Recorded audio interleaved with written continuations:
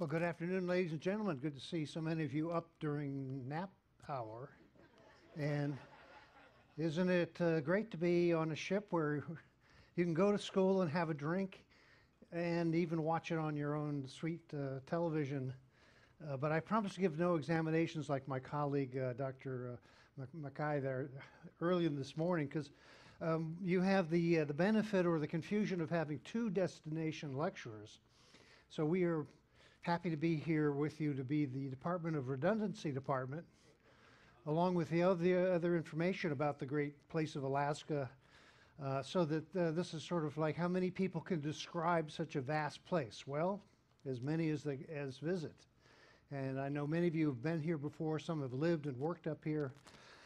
For many, it's the first time, but this is a remarkable part of the world. Um, and part of the United States, but again, uh, let's say apart from the rest of the, the lower states, as they politely call them here. And I've been coming for much of about 30 years. I've been working on different ships, mostly research expeditionary vessels, um, some private vessels, and have been through this area and out to the ends of the Aleutian Islands and up through the Bering Sea and on the Northwest Passage. So I still can't believe it's so big and so far and occasionally so cold. Of course, this area is what they call the banana coast. It's almost warm enough to grow bananas, but maybe in a, in a few more years. Because this part of the state is sort of separate from all those other places that get farther and more barren. This is a lush, um, temperate tropical forest, I'm sorry, rainforest, the great Tongass national forest, the largest of all the United States and the largest temperate rainforest other than in uh, Chile, for instance. And I'm just going to give you a, a brief look at uh, our ports of call. Uh, you might see some differences between the names and the itinerary because they keep changing. And even I was on the bridge uh, the other day, and the Alaskan pilot was looking at the weather, and and he said, "Oh, you shouldn't go there. Maybe you should go there." Well, it's very difficult to alter the course unless it's really driven by weather because we have all these excursions and dockage uh, appointments and all that. So I presume we will follow the schedule as it is published. Um, and we don't have any really bad weather. We did have uh, swells off of the time we came back from uh, down where we are now, the uh, coast of Vancouver Island. And so we had a bit of a rolling sea when we came back into Seattle. You saw this morning the fog, which meant that we had to slow down to a dead crawl and sound the horn. And uh, I was up there and watch to make sure that they could find their way through the fog. Or was that my brain fog? You know, it's hard to tell anymore. Like like others, I've been grounded at home for over a year, and I've my wife said when are you going to go back to sea? I'm used to you being away. Why are you hanging around the house so much? And I said, Well, I'm almost going to be retired. I have to practice my gardening, I suppose. But I still hold a U- uh, an active uh, U.S. Coast Guard Merchant Marine officer's license. And um, I've been all around the world and all the seas, but for so many years I've been coming back to Alaska, and I, I, I think, wow, this is a pretty spectacular place somewhat away from all the uh, worries and concerns of the rest of the world. Uh, but uh, I don't know if I could. I can take the cold and the and the weather and all that, but it's the darkness that gets you in Alaska uh, at, at, in the, in most of the year. Again, we're going to have a long summer days, and you can see it's sunny so much that people can actually lie on deck and go for a swim in the pool. Uh, so enjoy it while we have that weather because uh, it's a very brief season here. Um, I'm going to show you just some of the ports again. Now, if you want to come up and see, I have a more detailed map of where we are, and you can study this. I'm going to leave this up in the tours observation lounge 11 deck forward so you can look at it as we go through because the, the charts that they have, for instance, if it's on this uh, screen here, are only for a sketch match. So we are now out of Seattle, around Vancouver, coming up to Wrangell, our first stop. But, but in general, you know that, that Alaska is just the vastest of all of the states. It could be its own country if it only had enough people, but it has, you know, a spread out population, only about 700,000 people. um, all over the entire state, of which 70% live between Anchorage, the biggest city, Fairbanks in the center of the state, and then Juneau, where we're growing, the capital. Um, but it has all these islands, peninsulas, shores. I'll give another talk, I believe, tomorrow about the oceanography and the seas of the Alaskan world up here, because it's many places it's a, a vast world in itself. But uh, uh, Dr. McKay sh- uh, showed this version of this chart, just how big it is. It's as big as the entire east coast of the United States. It stretches with the Aleutian Islands almost 2,000 miles. And so it has a vastness that it's hard to appreciate till you come up here and just see a little bit of it, and maybe even more if you like it. But where we're going is this rugged coast of the coastal mountain ranges that stretch up from Washington State through British Columbia and Alaska, and they continue up into the Yukon and then other ranges in the central parts of Alaska. But where we are, there are very high mountains up to 15,000 feet high, just 100 miles of the, but behind us on the, in, in the uplands of the uh, British Columbia Alaskan border is actually the demarcated along the peaks of these coastal range. And there is hardly any population up there just because it's so steep, so rugged, so icy, so cold that uh, most of the native population traditionally it would always live along the inland passage and in the waterways where we're going because the life was pretty easy down below, but completely impossible not too far uphill.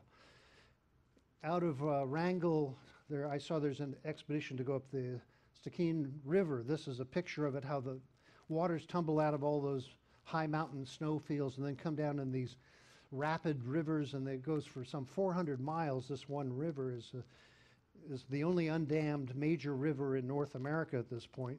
And of course, it has a lot of uh, salmon run and a lot of wildlife there associated. Then it comes pouring out near Wrangell, where we're going. We, we are going to uh, go up past Haida Island, which is part of British Columbia, into what's called the Dixon Entrance, and then we will go into the channels variously up to Wrangell. Now, last cruise we stopped at Ketchikan, which is the usual cruise stop because they have very big dockage. And in the recent years before the pandemic stopped it all, there was a bit of a traffic jam, and they had so many what I call the mega mall ships in there that the, the town was totally flooded over with with visitors, uh, 10,000 a day in a town that only has 2,000 residents and it's just full of t-shirt shops at this point. Now it's sort of boarded up and empty because they wonder where did everybody go. So I believe that the Silversea decided to go to Wrangell, where there's only a small dock that can just barely take this ship, and then there's there's some excursions, but there's no great tourist industry there, and so we will spend more of a day to get up into Wrangell. And this is a uh, town that was named after a Russian count back when it was part of Russian America. He- Though he never visited, he stayed safe and warm and sunny St. Petersburg, but he was part of the uh, government that, that sent the Russian Navy and then all the fur traders and missionaries out here to the edge of the world. Many of them never returned, of course, but some of them stayed, and there's still remnant Russians who are now American citizens, um, who actually their main um, profession is Russian Orthodox priesthood. They go back, study in Russia, come back to their church in Alaska, and I'll show you that in a minute. But as we go up through the channels, we'll come up into Wrangell Bay, and this is what they call the elephant's nose. You see the trunk going down in the river. I don't know who named it that. How many elephants are there in Alaska? Well, if anybody can answer that question, you win a free trip. But it, originally, it was just a uh, small villages of the Tlingit native people, and they're still here. Uh, we had a pilot on board last cruise, and maybe he'll board again. When I asked him where, where he's from, he said, I'm from here. And I said, Oh, how long have you lived in Alaska? My people have been here for 10,000 years. And where'd you come from? I said, Oh, I don't know. They have a very strong sense of identity here. I'll talk about this in another talk, as will Dr. Mackay. But uh, th- these people were then suddenly under the, let's say, the very uh, often cruel reign of the Russians, who came here to ruthlessly chase all the furs till they pretty much made the sea otter and the sea furl, uh, sea, sea lion all extinct. But these people have remained, and there are uh, the, the Shakes village where I think there's an excursion out to see the clan house and some of the totem poles and some of the evidence of the living culture. And as the native peoples of Alaska will say, we live in the present. We are now modern people, even though we have this ancient tradition that is rooted right here. This is evident in Wrangell because there's a very significant archaeological site called the Petroglyph Beach, which is a short walk out of town. And the, the town only has about three roads, by the way, so you can't get too lost. But there's signs to go for a hike up to the beach, which is all rocky. But there are hundreds of these kind of carvings, of which many have mythological uh, uh, uh, meanings we don't quite know, like this spiral of infinity or whatever you, it might mean to somebody. They estimate these are about 8,000 years old. Then there are carvings of animals and people and all kinds of things. So it's one of the major um, sites for the mostly uh, hypothesized uh, version of what the original people came from Siberia, probably on the land bridge or by canoe, to these places, and then they memorialized their visit with these kind of carvings. Well, when the Russians came, and then it was um, leased out actually to the British Hudson Bay Company for a while as their Pacific trading post, and then the and then when Alaska was purchased by the United States, it became under U.S. and then Alaskan state uh, sovereignty. But the town hasn't really changed very much. If anything, it's actually, it had a boom and a bust with the fishing industry. So it was bigger over 100 years ago than it is now because of the great salmon fisheries, which were impelled by the introduction of canning. So they could catch all they want and pack it up and ship it anywhere, which was a big difference to the fish. Uh, previously, the locals would only catch what they needed, and then the, the rest was mere abundance. Well, this was a, a very uh, profitable business, mostly run out of Seattle. The fleets would come up. They would take so much that they depleted the stocks, and a lot of the fisheries just closed because there were no more abundance like just previously because they didn't know how to conserve the stock. And the, the um, impetus to statehood in Alaska was to try to control the fishing. In 1959, President Eisenhower agreed that, and then an act of Congress had Alaska join the United States, mainly so there would be federal and state control over the so, sort of what was the wild west of the fishing industry. I'll talk about that on a whole nother day. But uh, the fish, the canneries are gone. There's still local sport fishing and some bit of a commercial fishing, but this is the port as we have it now. Now they've built it out increasingly by landfill. So there's, oh, new, new docks, and particularly there's our ship at the one dock that's available. Uh, usually, the only way to get here, though, if you're not flying in on a on a small uh, airplane, is to go by the uh, marine, um, the Alaskan uh, ferry system, marine transport system, which has these very large uh, ferry boats that ply all the way out to the Aleutian Islands and up and around to the Bering Sea. And if you um, are on a budget, uh, it's a particularly charming cruise because you can take your backpack and sleep on deck, which they allow here in the daytime, I understand. Uh, but otherwise, this town is still some fishing, and you can just walk from the ship around to see the, the commercial docks, and then there's a few private vessels, and then there's the big downtown but you'll ha- you know if you want to buy a T-shirt, you have to trade them one. But anyway, it's a charming town because it's actually the small town of the of. It's not that small for Alaska. It's a big metropolis of 2,500 people, so you don't know everybody in town. But it's sort of like other places. You're either more urban than the next, or you're more rural than the next. Well, in Alaska, you get you get uh, rural very quickly. You Just have to walk out of town, and that's about it.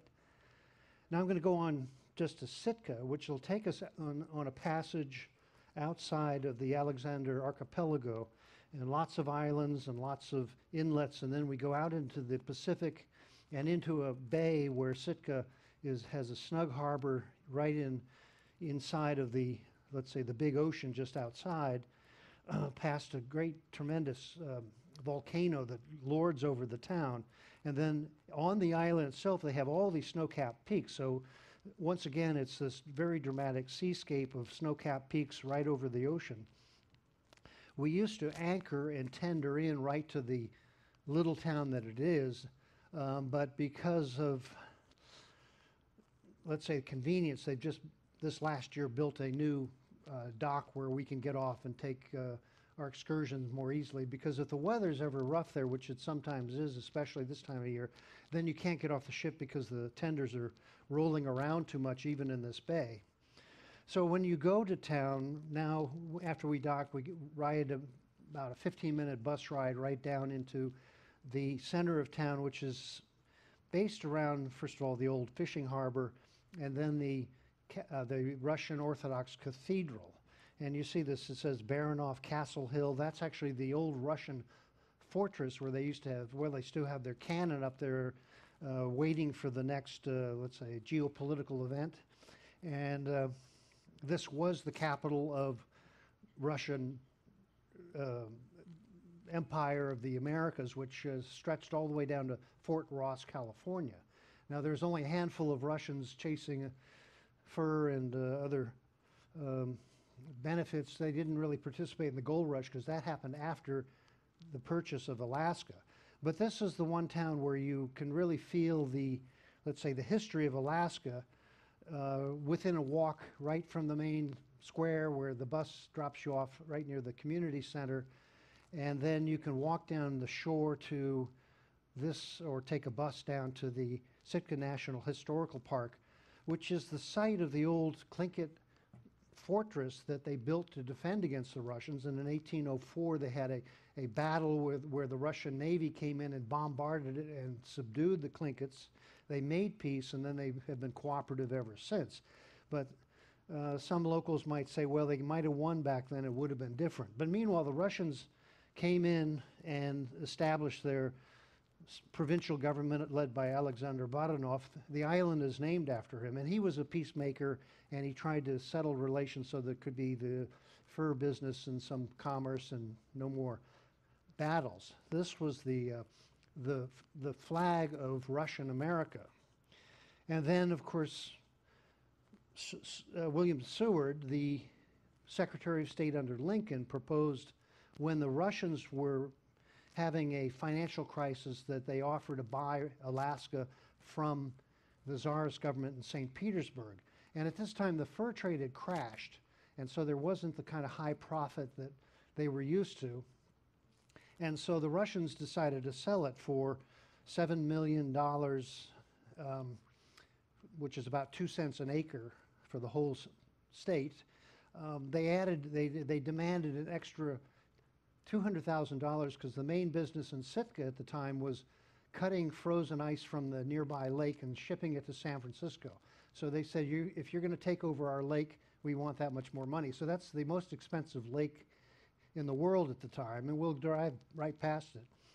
And so this was a hard sell because uh, Seward was a believer in the manifest destiny that uh, we need to take this because otherwise the Russians will sell it to the British, and then the uh, the conflict with uh, British Canada would be more difficult if we don't have Alaska. Well, that's still a debate to this day. And uh, Seward, though, was a very um, dynamic fellow. You may have seen the movie Harriet with about the life of Harriet Tubman. And Seward was also a, a very religious man and an abolitionist, and he took Harriet Tubman, the, the slave runner, into his own house for protection. And so he has a cameo role in that, that recent movie. Well, the uh, curiosity of this uh, purchase got more curious when a Russian nationalist named Zhirinovsky noted in the Duma in Moscow that the money for the purchase of Alaska was never received, and therefore Alaska still belongs to the Russian Federation. And so the cartoon at the time, here's President Clinton said, you better find that receipt. Well, they did find it, and the gold bullion had been loaded on a Russian merchant uh, or Navy vessel in Washington, D.C. harbor and shipped back to uh, St. Petersburg. The receipt was signed. And it turned out what happened was by the time they got back to the Baltic, there was a mutiny on board, and the Russian sailors fought amongst themselves. The ship caught on fire and sank to the bottom of the Baltic Sea with the value of seven million some gold bullion, and it's still there. I'm planning to mount an expedition to, if anybody would like to join me. It's somewhere. I'm sure somebody else has looked for it, but that's the recent news about the purchase of Alaska. Well, then it became the state and the flag with the Big Dipper and the pole star Polaris, the North Star, as a symbol of hope for this great uh, Northland, the, as uh, Dr. Mackay said, the north to the future. And Sitka, as one of the oldest settlements of Europeans on, uh, in, in Alaska, uh, well before Juneau and all the other towns here and there, is on this um, foggy coast often with all these little islands. And nowadays it's a major fishing zone because you go right off and you're in the, the bigger waters of the Pacific. And then if you have your own fishing lodge, you can go out there and catch particularly uh, king salmon, chinook, and uh, that's the most valuable of the sports fish here. and so if you want to come back and rent this lighthouse and go fishing, it's available, especially since nobody else is up here nowadays. As you're in the town, though, you can walk along this road on the park and the shore and see some of the old houses and the churches. And this is the Russian bishop's residence, which is, after many decades, been uh, renovated and opened up as part of the National Park Service. And it is a very uh, spacious home, but it looked like it had no insulation, so they all huddled around the, the fire all the time in their, in their uh, robes. This is the cathedral, St. Michael's Cathedral, which is right at the center of the intersection of the roads in town. Um, and this is a classic Russian Orthodox church where the congregation stands. There, there are no pews. You do not sit down. You stand up while the priests are behind a another wall with the icons and not facing the congregation, and then praying, and then everybody sings along. And you can, when there's a service, a couple times a day, you can go in there. Otherwise, it's closed up the curious phenomena is that most of the congregation are Tlingit natives with the Russian Orthodox priests. And this goes on to this day. So here's a view of the town uh, 100 or more years ago. And all the fishing and the commerce was right there. Now it is spread out further. There's a very large commercial fishing uh, port to the uh, northwest of the Old Town, which is where most of the business is now, and this is one of the major fish um, processing landing ports in, in Alaska. It's worth some, you know, eight- eight- $80 million a year just in salmon alone. And if you walk around the old town, you can go up, there's arrows and point you just a block or two from the cathedral is the old uh, Russian Marine um, stockade so that they could have their garrison there to protect them if uh, things didn't get uh, peaceful again.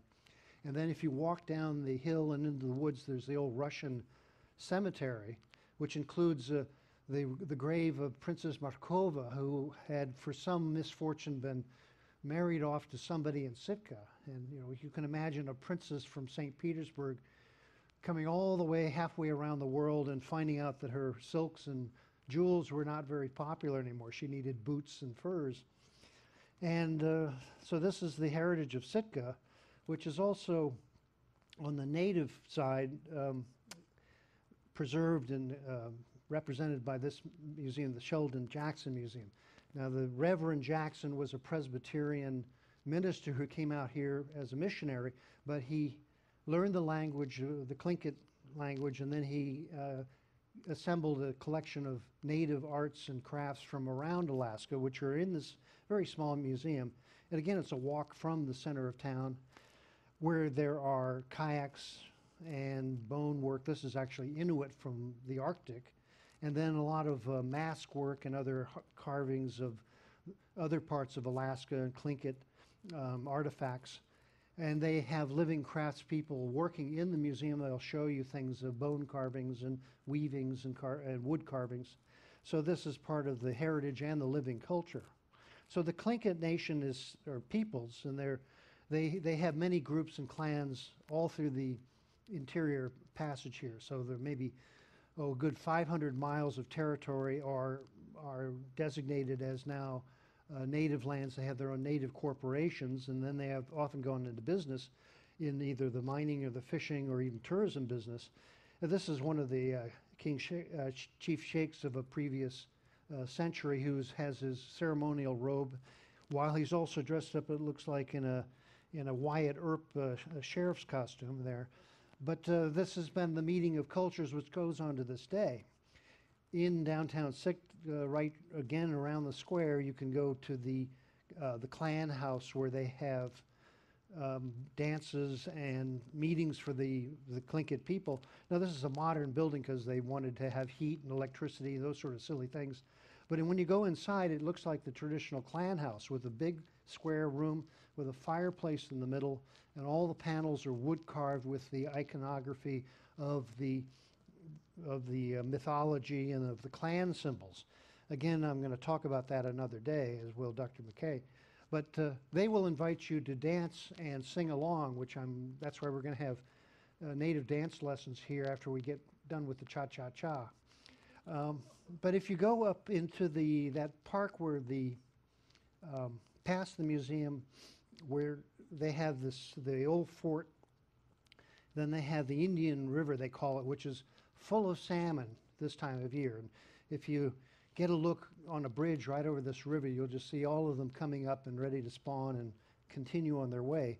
But the feature of that walk, which is about a mile out of town, is this trailway through the woods where they have erected all of the totem poles that they collected from nearby villages and islands. The population of the Tlingit and other natives, of course, declined rapidly when there was um, smallpox and other diseases that came, and so many uh, villages far away had been abandoned. And back under Teddy Roosevelt, there was a national monument made of this particular place and funding to go out and transport the totem poles so they wouldn't be just rotting and falling over in the woods. So this is a very kind of a, a mystical walk through the woods with these tremendous poles.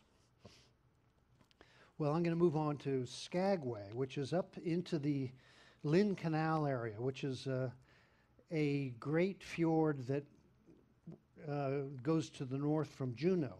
And we go out from Sitka, out around um, Point Seymour into the, they call the icy strait that's full of ice from the Glacier Bay as it, it calves off ice into the, into the waterways. Then we go up to Skagway, which is a, uh, again, another Tlingit native land that the original name was Skagwai, or however the- it's pronounced, called the windy place, because you have this great cleave of a valley facing north, and in the winter, the winter winds just scour the whole valley with the tremendous gales. But in the summertime, it's very pleasant. And then they have salmon runs, and you know the life of the lowlands are right there. But as you go up to the end of this waterway, the Lynn Canal, you then come into the town of Skagway, which is built there basically for the the Klondike uh, gold rush. And when a local Tlingit came back with some gold and showed it to one of the early explorers, then they realized that there was more up over the hill, and that began the whole gold rush. So the town is still there. It's, it's sort of a simple grid with the docks out that have been built. Uh, we are going to be at the what's called the uh, railroad dock, which is on the south side, I mean, and on the bottom of this picture. So you can walk down past the, the little stream there and then right into town. It- It'd take all of five minutes. There is a little shuttle bus which costs two dollars to go up into town if you don't want to walk that way. You can take it up and walk back or either way. But here's our ship at the same dock last week. You can see how the tremendous mountains are rising around it. This is completely vertical land. There's almost nothing flat except on the tidal flats where they built the town of Skagway. And uh, that was a rough and ready place back in 1896 to whenever the gold ran out and the rush came, was finished. But this is what it looked like downtown originally. And uh, there was the, uh, let's say, the mad rush of young or foolish people, mostly unemployed men at the time, who came up from ac- California or even across the continent over from Canada to go up and huddle together and then make plans and get provisions and then climb up over the mountain. And this is the infamous uh, uh, Trail, which uh, was a thousand feet up over the pass. And as Dr. McKay was saying, each one by uh, Canadian law, they had to bring enough food so they wouldn't just die on the road before they got down over into Whitehorse on the Yukon River and go down to the gold fields. So they would pack up and they would carry it up and they get assistance or mules and such, but uh, of course many of them didn't make it. And the ones who um, did may found some gold, but the the merchants of Skagway and also all the way down to San Francisco providing this were the ones who made business out of this frenzy of people coming up there, the miners. Uh, most famously, Levi Strauss, the the classic blue jean is actually miner's coat uh, uh, wear for this kind of work. So uh, that that's a cur- curiosity of the fashion industry that the roughest clothes, the cheapest clothes become now the most expensive, especially the ones that are all cut up. I don't quite get it, but then again, I'm not a miner. Well, anyway, this is what they had to go through. They had to walk up this thousand foot single file. They would cut into the snow and ice steps so it would make it easier. Uh, and you can still do that, but they were all looking for the what they called Yukon candy. And so the original claims often did come up with enough gold. I mean, there was a ship that came down to Seattle with 17 tons of gold at the beginning of the gold rush. And then it petered out after so many years, and now there's just a little bit left for, you know, a few panners up there, but no major mines. But meanwhile, Skagway became this infamous place where you paid too much for anything. And uh, then when you came back from the minefields exhausted, if you, if you didn't have enough money to pay for anything, you just would uh, go back to where you came from and rue the day you ever got there. And there are a few of the remaining buildings. Uh, this is one of the old miner log cabins that is still there. This is a National Historic District with the National Park Service with a sort of a, a reception center, films, and then preservation of what is still there in Skagway. There hasn't been much that's happened since, except for the ships coming in the in this major tourism industry that is the life of this little town. Again, there are about 2,000 residents, and they get over 2 million visitors a year until last year. This is the old Arctic Brotherhood meeting hall, which is now the Visitors Information Center, and it's still in its old style. I recommend just going into it, even if you're just walking around, not planning any expedition. And then, if you're really brave, you can go to the uh, the uh, the 1898 show where they recreate the fun in town and some of the shootouts and some of the legendary characters of the town. And uh, so this was, I, I don't know if it's operating because they don't have enough visitors to open up the theater anymore. So the ladies of the day and the night are sitting around uh, online or whatever they do when they don't have a show. But uh, there are a bunch of excursions, one of which is you can go on a hike up the Chilkoot Trail. So uh, uh, if your knees can do it, it's well worth the, the pain. Or you can go rafting, or there's a whole list of excursions. I don't know how many of them were run. You'll have to ask at the concierge because there are so many offerings, but there's so few people that if there are not enough people to sign up, then you have to do something else. But just walking around the town is pretty interesting on its own. By far the most interesting or fun ride is the Great Train Ride. So out of Skagway, the train, excursion train, the, uh, uh, the White Pass train comes out of town and goes up 40 uh, miles at a very steep grade up to Bennett, British Columbia. It crosses the border. Uh, and then it turns around and comes back down. Uh, this has had some repairs, so this season they're only going about halfway, but even then it's still worth it. Um, the train used to run all the way to Whitehorse, and then people would get on boats and go down the Yukon to the gold fields. But this is the way it was when it was founded in 1898. You had a big steam locomotive coming right down the main street Broadway. Well, they subsequently put the tracks on the side of town. Now they have diesel electric engines, and I believe there's a gentleman here who used to work on that, uh, and he can tell you all about uh, all about it. But anyway, this is one of the great excursion train rides in the world because it goes up these incredibly steep hills over great chasms and uh, rumbles up through a very high grade for any uh, train. And then it comes up to the uh, Canadian border. And this is uh, right there with the British Columbia, Alaskan British Columbia flag, Yukon flag, and of course the Canadian flag. Uh, the train doesn't go that far now, but once it's up there, it's sort of on a high mountain plateau. So the drama is really coming out of Skagway to when they have a turnabout and they come back down. It takes about three hours, but that's the great attraction in, in Skagway. From there, we're going to go on to on the some of the br- brochures or itinerary. They call it Tracy Arm, but because of ice and other conditions, we're actually going to the next fjord next to it called Endicott, which is again another 35 mile long slow cruise into the fjord.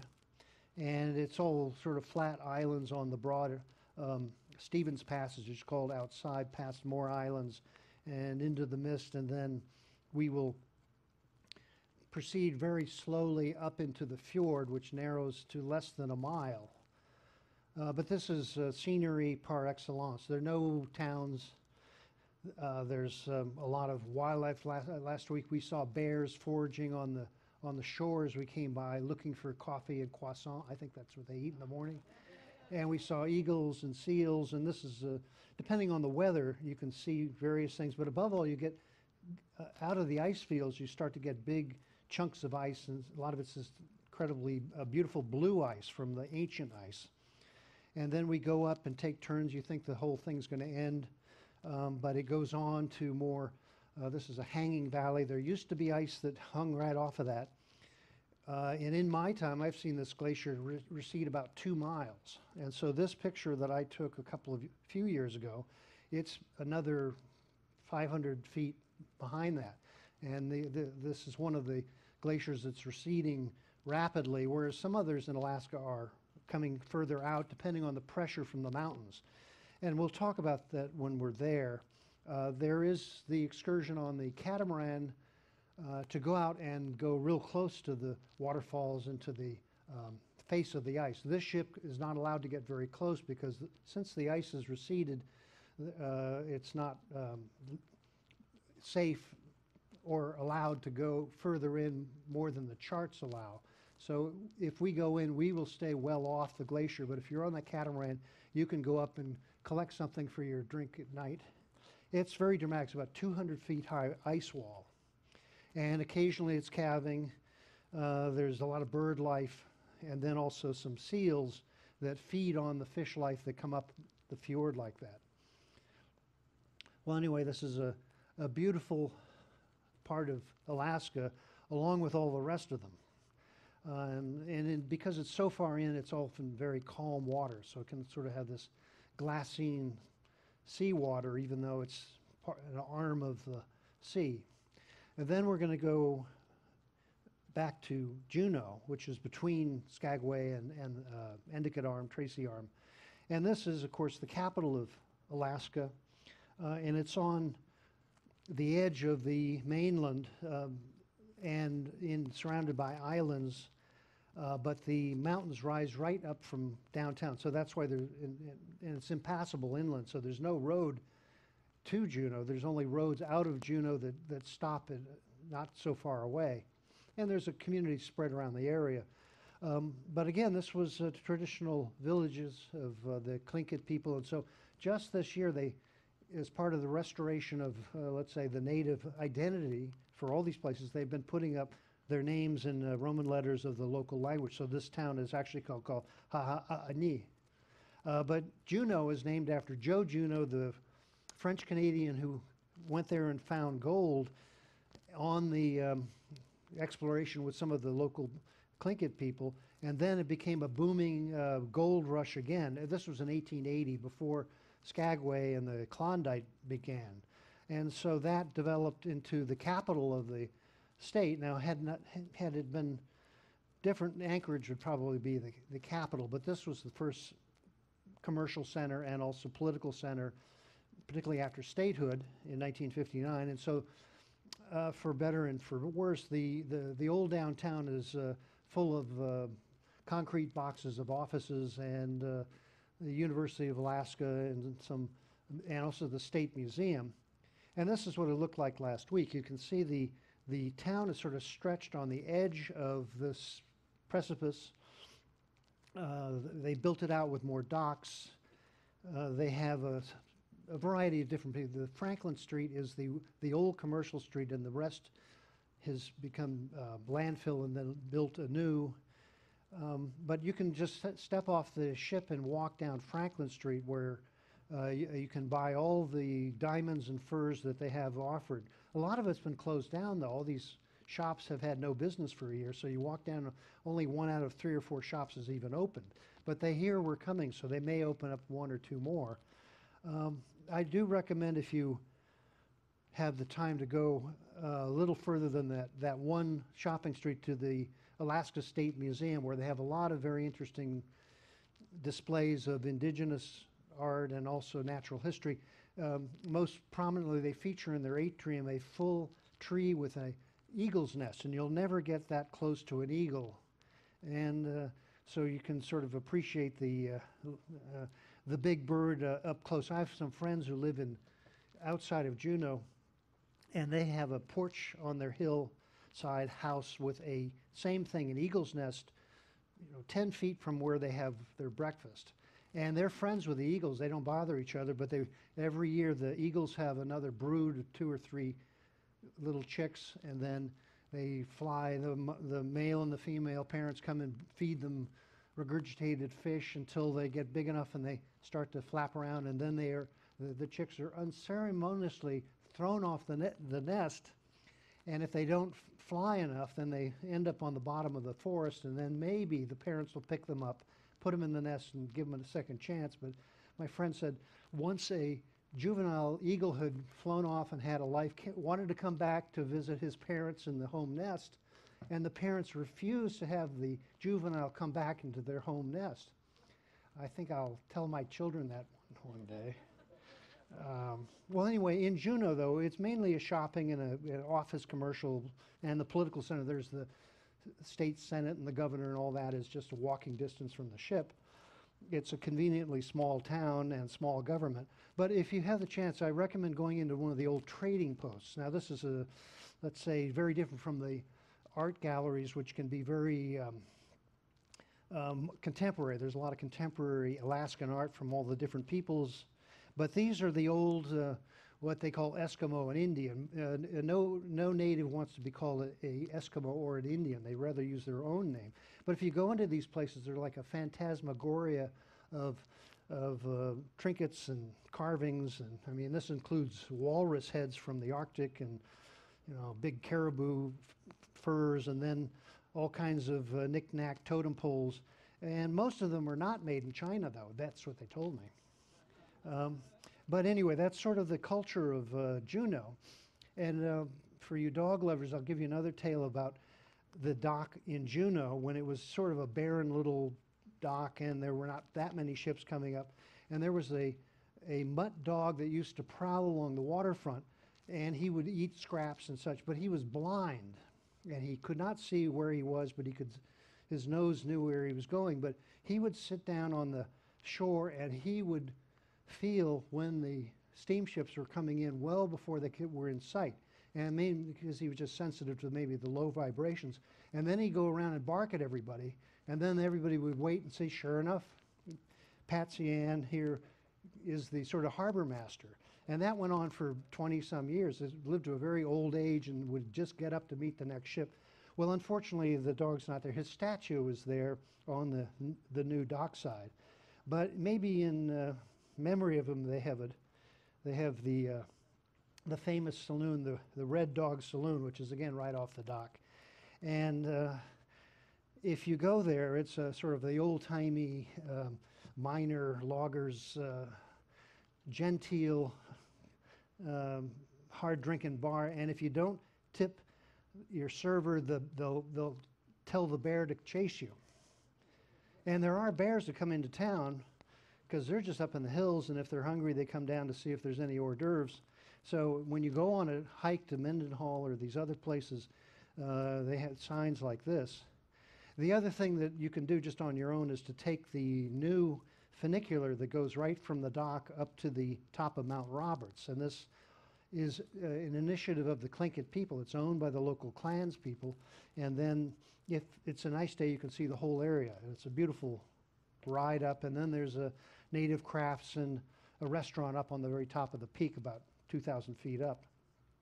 Another thing that's just new in Juneau is they, they've uh, commissioned some local artists to make these wispy um, sculptures, which are meant to evoke the spirit of the whale and the salmon and whatever you see in it. But there's a whole line of them. That's our ship.